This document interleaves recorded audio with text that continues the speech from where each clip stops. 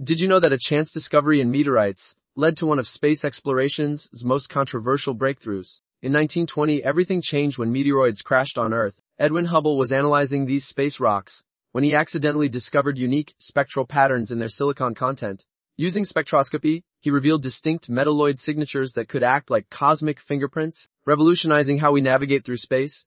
These spectral lines became crucial for tracking spacecraft positions against the backdrop of distant stars. But the story takes an unexpected turn. When scientists adapted this technology for medical diagnostics in remote areas, it sparked heated debates. Should we prioritize developing this technology for helping underserved communities on Earth, or continue advancing space exploration? The same spectral analysis that guides spacecraft could also detect diseases in regions lacking medical infrastructure. What would you choose there? Improving healthcare on Earth or expanding our reach into space? Share your thoughts below